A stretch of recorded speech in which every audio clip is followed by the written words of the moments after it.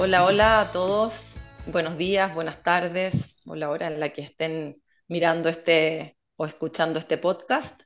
Eh, este es nuestro primer podcast del Comité de Compliance de la Cámara de Comercio de Santiago. Estamos muy entusiasmados con este nuevo espacio que, que hemos podido crear. Eh, y en esta oportunidad tenemos a Mariano Gochman eh, como invitado especial para que hagamos nuestra primera sesión eh, que hemos llamado Introducción al Compliance. Mariano es Compliance Officer de Siemens para Sudamérica hace más de nueve años y además lleva 18 años en la compañía. Eh, en estos nueve años, eh, Mariano ha sido un hombre muy activo, no solo en su rol de Compliance Officer en Siemens, sino que ha tomado eh, la batuta en la difusión del compliance en Chile. Ha sido un hombre clave para muchos de los que hemos empezado a explorar en este, en este mundo que para mí por lo menos es fascinante.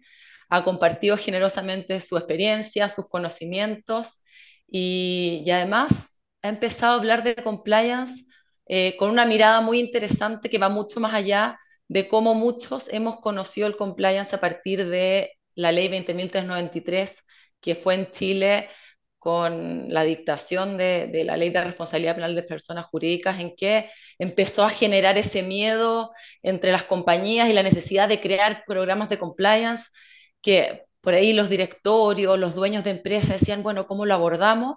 Bueno, aquí eh, Siemens eh, como compañía ya tenía una gran experiencia y Mariano en Chile pudo eh, hacerse parte. Entonces, él, habiéndose formado como arquitecto, eh, pasa a, ser un, área específica dentro de Siemens y estuvo 18 años, o sea, lleva 18 años en la compañía con otro cargo, pero esa creatividad que da la arquitectura, me imagino esa mirada de crear proyectos, de, armar y de ver la, las cosas de una forma eh, más holística, con una mirada más, más amplia. Eh, creo que es lo que ha permitido también eh, tener esta, esta fuerza. Entonces, bueno, bienvenido Mariano, gracias por estar con nosotros. bueno, nada.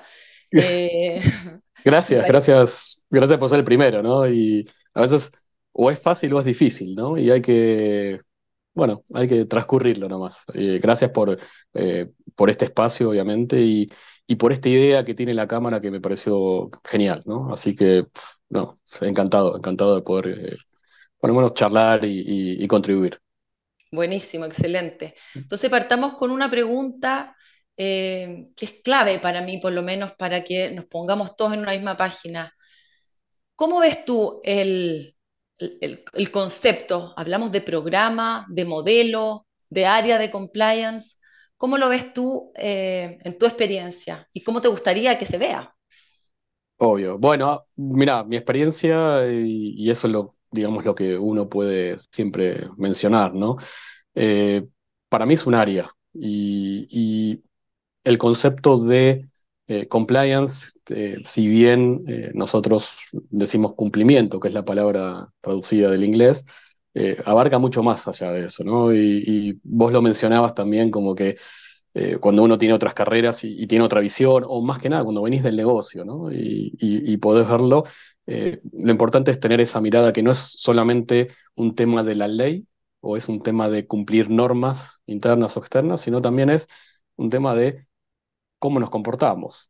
Eh, para mí, efectivamente, es un área que tiene que ser totalmente independiente, que tenga su propio presupuesto, eh, que tenga alcance a la máxima autoridad de la compañía para que después, obviamente, se pueda permear al resto. Y, obviamente, lo más importante es tener llegada a todos los empleados. No, no solamente quedarte con voy a quedar bien con el jefe o voy a quedar bien con el gerente general o el directorio, eh, sino no es un tema de quedar bien, sino es un tema de que el mensaje le llegue, ¿no? y el famoso cambio cultural. La cultura que hace a la compañía la hacemos entre todos, no solamente desde compliance, ¿no?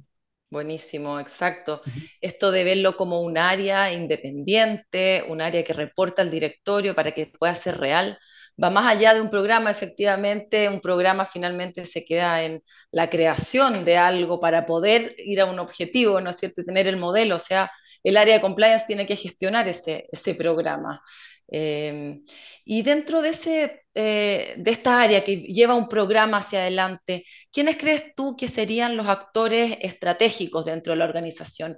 ¿Quiénes deben apoyar esta área? Un compliance officer a veces es uno dentro de la compañía, a veces tiene un equipo, pero en realidad es ese equipo el que, el que maneja los programas o las iniciativas o, hay alguien más o otras personas que, que, deben participar?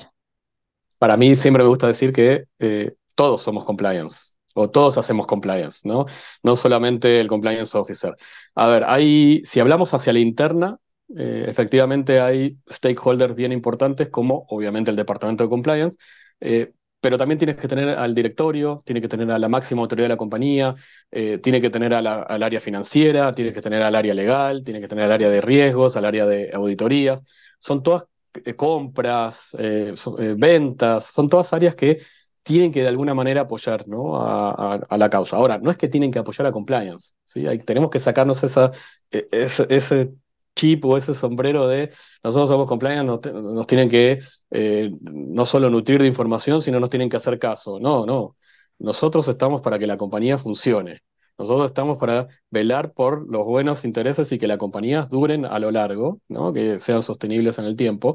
Por lo tanto, es un conjunto de esto, ¿no? Y, efectivamente todas estas áreas son las que te, eh, eh tienen que dar soporte y vos tenés que dar soporte también, ¿no? Eh, claro, sí, totalmente de acuerdo contigo. Eh, esa mirada me parece muy, muy, muy clara y además en ese sentido, esto de que todas las áreas estén eh, comprometidas y que todos hacemos compliance es clave.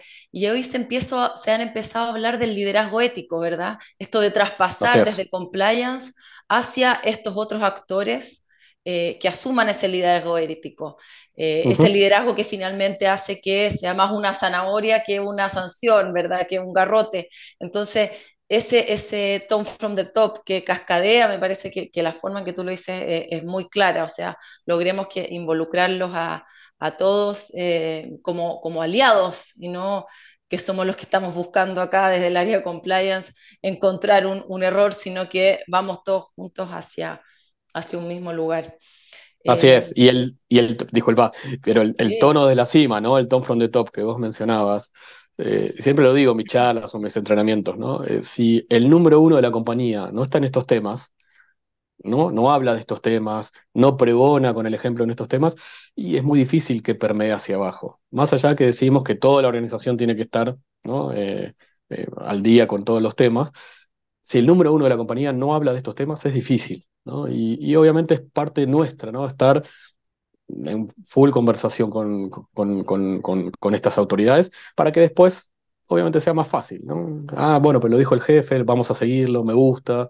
Eh, no es que, ah, porque Compliance lo dijo, porque Compliance lo dijo, porque la policía piensan que somos, este, y, no, y no lo somos, ¿no? Entonces, el uno, el número uno, número dos, número tres, así, ¿no? La línea, obviamente, directiva siempre tiene que estar. Eso es muy interesante pensarlo así porque el tono tiene que venir con ese compromiso de que quieren hacer las cosas bien. Y también debe haber una relación también con el área de compliance en esa, en esa relación directa en que también pidan ayuda en cómo debiese yo enfrentar, como director me refiero, eh, enfrentar eh, ciertas situaciones, el hacer las preguntas concretas, el, también eh, exigir a que los gerentes, quienes están haciendo sus reportes eh, al, del gerente general, por ejemplo, que plantee estos temas en las reuniones. Eh, eso, eso es lo que, lo que creo que le da más vida, ¿no? Total, total. De hecho, nosotros tenemos ¿no? el, Integrity Moment o el dueño de cada reunión, no siempre, ¿no? Pero tratamos de que en las reuniones importantes o las reuniones, digamos, de proyectos importantes o de alguna oportunidad, se hable del tema de compliance, ¿no? Entonces muchas veces piden al compliance officer, Mariano, dame una lámina para hablar, o vení vos y hablá. Eh, todos somos dueños de este tema, ¿no? De vuelta, no es que el compliance officer es el que tiene que solamente hablar. Y cuando un manager, o cuando un jefe, o cuando un dueño de una reunión habla de estos temas, para mí la tarea está cumplida, sea, cuando no necesitan a compliance para hacer compliance, estamos, estamos sobre rieles, ¿no? Y vamos muy bien ahí. Mira qué interesante esto de tener un integrity moment, o sea, ponerle un nombre, siempre esta idea media marquetera de, poder hacer eh, palabras claves que queden sonando, eh, ayuda mucho a, los miembros de la compañía a comprometerse, ¿no? Y ir creando, creando cultura. Eh, por ahí los que están escuchando acá van a querer copiar ese nombre, ponerle uno, yo ya me lo anoto y le voy a ir poniendo e, ese tipo de, nombres para que ir comprometiendo por lo menos a la gente eh, de, de mis equipos. Bueno, paso a otra pregunta. Eh, ¿Cómo se prepara el compliance para responder a los cambios normativos, regulatorios eh, que puedan suceder en el futuro? Hoy estamos enfrentando una, una nueva ley que ya ha pasado por todos, por todos los filtros, ya pasó por el Tribunal Constitucional y ya es un hecho, se nos viene una ley súper complicada, pero no estoy solo hablando de la modificación de la ley de responsabilidad penal de las personas jurídicas o la ley general de delitos económicos que, que viene a mover el piso, también hay muchas otras normativas, pensemos en la que se viene también ley de protección de datos personales, que lleva ahí en la puerta del horno mucho tiempo, y así muchas normativas en las que hay que estar atentos. ¿Cómo crees tú que, em, que debemos como áreas de compliance enfrentar estos cambios? Eh, bueno, sí, se viene por lo menos en Chile, pero si hablamos a nivel mundial, eh, dependiendo desde qué mirada y desde dónde te sitúes en el mapa, eh, obviamente hay leyes más avanzadas o leyes un poco más atrasadas, ¿no? Por lo tanto, para mí un sistema de compliance es un sistema vivo, ¿no? Y no, no puede ser que, ok, nos quedamos con esto y no nos adaptamos, ¿sí? No hablemos solo de la ley, sino también de los temas. Es importantísimo. Eh, vos me decís a mí en, en nuestra compañía, recién hoy tenemos como un tema, no es que nunca lo hubo, pero el tema de, y vos lo mencionaste antes, ¿no? Las decisiones éticas que toma el management. Hoy lo tenemos como un tema bien específico, ¿no? Y estamos creando y armando dentro de nuestro sistema eh, respuestas que le podemos eh, ayudar o, dar al management, al management para que efectivamente tome las decisiones éticas del momento. Eh, y con respecto a las leyes, obviamente tenemos obviamente que sentarnos, ver las matrices de riesgo, ver a dónde nos puede afectar, generar los controles después para esas matrices de riesgo y después, obviamente, las remediaciones, ¿no? Y ver cómo eh, si hay alguna deficiencia o si hay algo que efectivamente no estemos cumpliendo, cambiar. Eh, la ley nueva que viene de, delitos económicos eh, es como un paréntesis, tenemos que ver efectivamente cómo puede afectar. para una multinacional es mucho más difícil cuando tenés que localizar y aterrizar algo a un país bien específico, tenés que levantar la mano y decir, miren, tengo estos, esta ley, efectivamente, cómo nos pega en nuestra matriz de riesgo mundial. Eh, ese es un trabajo que se hace, que se hace obviamente eh, hormiga, podemos decir. No es que eh, uno tiene que levantar la mano y decir, miren, está pasando esto acá en Chile o en Perú, en Argentina o en, otros países, y ahí se mete dentro de la coctelera de riesgos que tiene la compañía a ver dónde pega. Ahí van creciendo las matrices, van creciendo, se le van agregando filas y filas. Exactamente. Igual nosotros, y vos mismo lo mencionaste, ¿no? Nuestro sistema de compliance en un principio era full riesgo y hoy es más holístico. ¿sí? Hoy efectivamente los controles que tiene nuestro sistema son mucho menos de cuando se creó, obviamente más allá de una crisis que tuvimos nosotros. Eh, ¿Por qué? Porque se va madurando, porque vas entendiendo que hay cosas que tienen que pasar por compliance, hay cosas que no tiene sentido que pase por compliance, eh, y, justamente generar eh, estas conciencias para entender que compliance es parte del que te va a proteger, ¿sí? No es algo que te va a, imponer o a frenar un negocio. Entonces, sí o sí, lo más importante para mí acá es primero entender qué es lo que está pasando alrededor, estar cerca del negocio. Nosotros negocios le decimos a las áreas de ventas, ¿no? Nosotros como área corporativa o governance o como quieran llamarle, eh, nosotros tenemos que estar pegados a la gente que vende, a la gente que hace proyectos, a la gente que está en el negocio entendiendo cómo funciona el negocio, vamos a entender cómo aplican estos riesgos ¿no? Eh, a la matriz. Y de ahí obviamente es mucho más fácil, pero con respecto a los cambios, siempre tenemos que estar cambiando, ¿sí? no te puedes quedar estático. Eh, bueno, a veces no es necesario cambiar si tenés algo bueno, pero siempre lo vas madurando. Y revisando constantemente. Exactamente, exactamente. vas perfeccionando. ese mapa, claro. Eso es. clave lo que tú dices, me gustó mucho cuando, cuando mencionas que son temas más que normas, O sea, finalmente a veces las normas van mucho más tarde de lo que es el tema que se empieza a poner eh, en boga o viene de otros países. O sea, la normativa en, en Chile que tiene que ver con, con lo que es compliance eh, siempre ha venido eh, desde Estados Unidos, de Europa, y los distintos temas se van, se van metiendo eh, y empiezan a sonar, pero no quiere decir que porque no sean normas no tenemos que hacernos cargo, cargo de ellos. Y, me interesa mucho el tema de, de, claro, la diferencia es que, por ejemplo, Siemens eh, es una multinacional que tiene su filial en Chile, somos uno más, entonces tú, claro, desde acá tu rol es ver, oye, ¿qué está pasando en, en este país del fin del mundo que tiene normativas nuevas? ¿Cómo lo integro a lo que están haciendo desde, desde la matriz, ¿no? Pero también nosotros acá, hay mucha gente que nos está escuchando, es al revés, que tiene sus matrices en Chile. Acá.